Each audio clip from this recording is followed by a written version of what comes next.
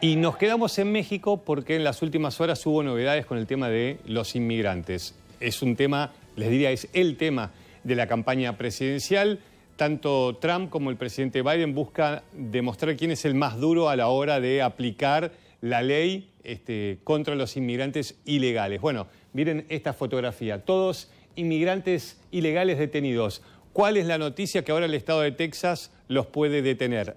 Hay quienes dicen que en realidad esto es una cacería humana. Las autoridades del estado de Texas en la frontera sur de Estados Unidos podrán detener y expulsar a migrantes. La Corte Suprema de Estados Unidos autorizó la entrada en vigor de una ley que faculta a las fuerzas de seguridad de Texas a arrestar a migrantes que no puedan comprobar que cruzaron la frontera legalmente.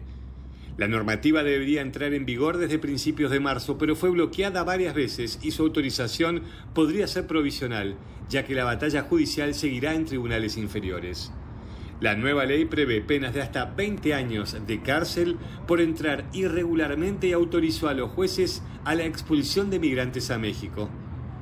Esta medida fue enérgicamente rechazada por el gobierno mexicano.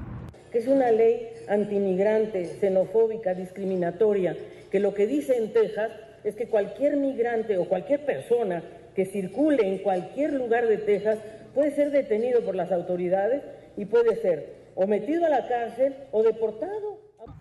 La crisis migratoria fue uno de los principales temas de la campaña de cara a las elecciones de noviembre, en los que Biden buscará la reelección y se enfrentará al precandidato Donald Trump, conocido por su retórica antiinmigratoria. Los republicanos culpan a Biden de no hacer lo suficiente para frenar la llegada récord de migrantes, mientras que la Casa Blanca acusa a los conservadores de sabotear un intento bipartidista de encontrar una solución. Vaya, yo le pediría al gobierno de Estados Unidos que se ponga la mano en la conciencia, porque son muchas familias que están desplazadas. Y nosotros venimos a trabajar, no venimos a quitarle nada a nadie. Nosotros lo que queremos es trabajar acá, pues para mandar el sustento de nuestros hijos, de nuestras familias a Guatemala. La Casa Blanca se opone firmemente a la ley de Texas porque sostiene se extralimita en sus prerrogativas ya que la política migratoria es competencia del gobierno federal y no de los estados de forma individual.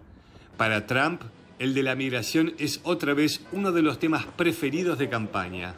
Now the United States is being overrun by the Biden migrant crime. It's a new form of uh, vicious violation to our country. It's migrant crime. We call it Biden migrant crime, but that's a little bit long.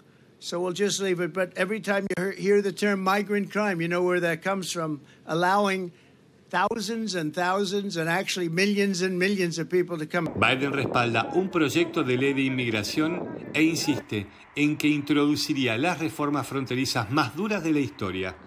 El plan bipartidista pretende frenar el aumento de inmigrantes que cruzan Estados Unidos desde México. And if my predecessor is watching, instead of paying politics and pressuring members of Congress to block the bill, join me in telling the Congress to pass it. We can do it together. But that's what he apparently hears what he will not do. I will not demonize immigrants saying they are poison in the blood of our country. I will not separate families. I will not ban people because of their faith.